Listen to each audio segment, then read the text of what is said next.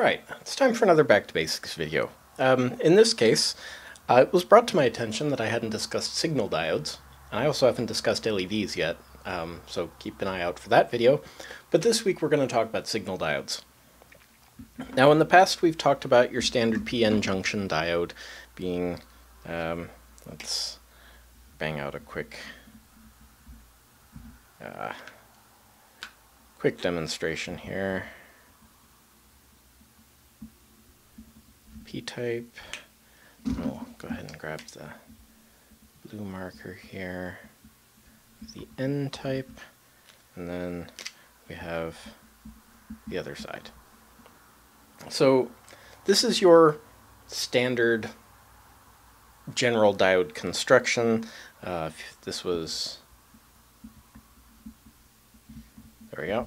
So that's what a standard diode looks like. And, you know, your 1N4007 diodes, they're constructed pretty much just like that. Uh, there's some variations in the, the, the, concentration of doping in there, but um, I go into more detail in that in my previous diodes uh, video, which I will put right here. Anyway, so that's what a standard diode looks like. And for your general purposes of we want current flowing this way and not this way, your standard power diode is going to do just fine. But if you start trying to operate these at high frequency, you know, if you've got an, al an alternating current waveform going through a diode, and we've talked about this before um, with half-wave rectifiers, you'll just kind of get that. Um, but if this is really, really high frequency, you're going to run into a situation where this diode is going to start acting more like a capacitor.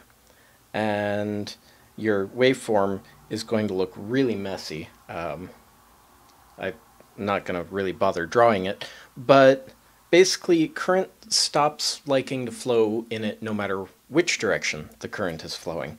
So they had to come up with a way to make a diode that reacted well in high frequency conditions. And that's where the signal or small signal diode originated. So we're going to scoot this up just a little bit there. Yeah, we'll go ahead and take it fully off camera there. Um, anyway, so the construction of a small signal diode is a little bit more complicated. So we're going to have the cathode here with its conductive plate. And then we're going to put a section of heavily doped N-type material on top of that uh, junction. So this is going to be N plus. And then we're going to have a section of lighter material. Um, I have new colors that I want to play with, but uh, nothing really works for this, so we'll just um, do it like this. And this is going to be lightly doped N material, so that's N minus. Alright, and then on top of that, we're going to have a section of just marker is doing that thing that it does again.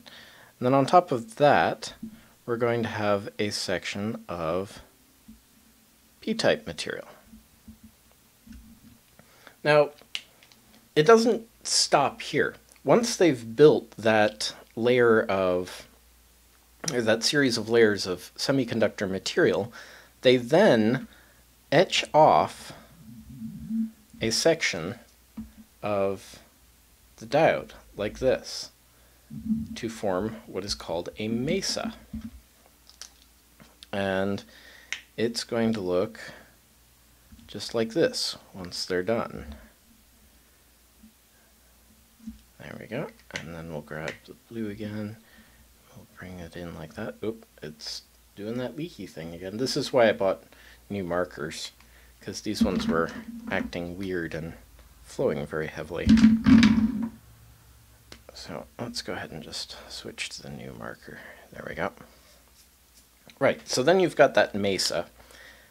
which reduces the capacitive, the parasitic capacitive uh, nature of the junctions between the p and n materials.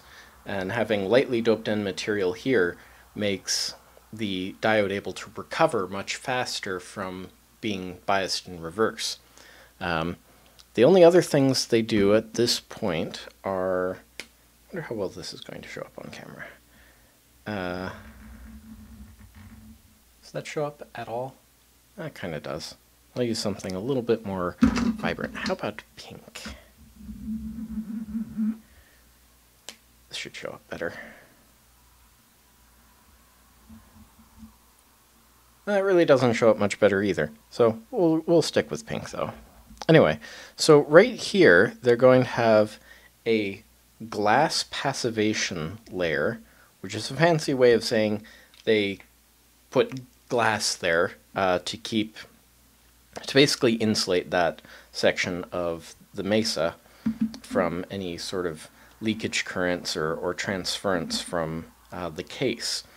And then they'll have, I guess I'll use black for this, you know, your standard little junction plate here onto the p-type material and that's going to come up into the anode.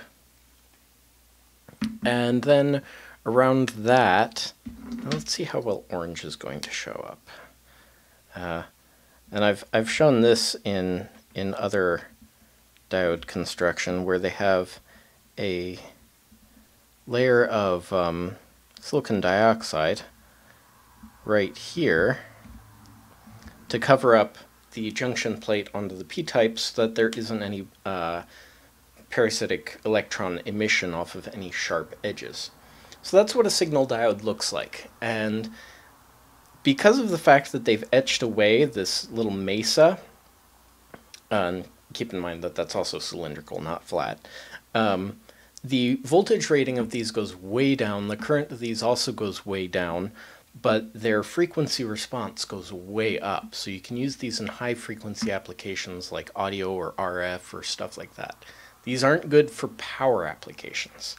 Um, if you need some appreciable power and quick um, quick recovery time, probably go with a Schottky diode or something like that. But even Schottky diodes aren't really high rated for voltage. The highest Schottky diode I've seen so far was 100 volts, and it was quite expensive.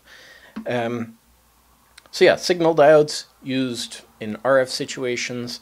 Uh, you'll sometimes see them. Most often, they're uh, gallium, um, or not gallium,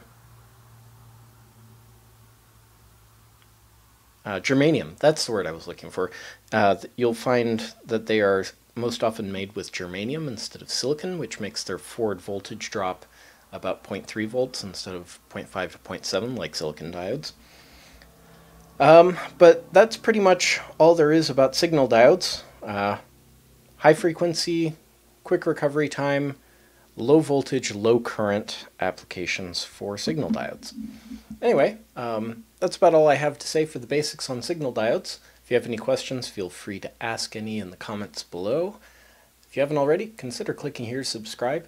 Right over here will be a video that YouTube thinks you'll in find interesting. Right over here will be the Back to Basics playlist, and right here will be the link to Patreon. You can use Patreon to support videos like this one, and you get your Back to Basics videos about four to five days early. Anyway, thanks so much for joining me for this episode, and we'll see you next week. Bye bye.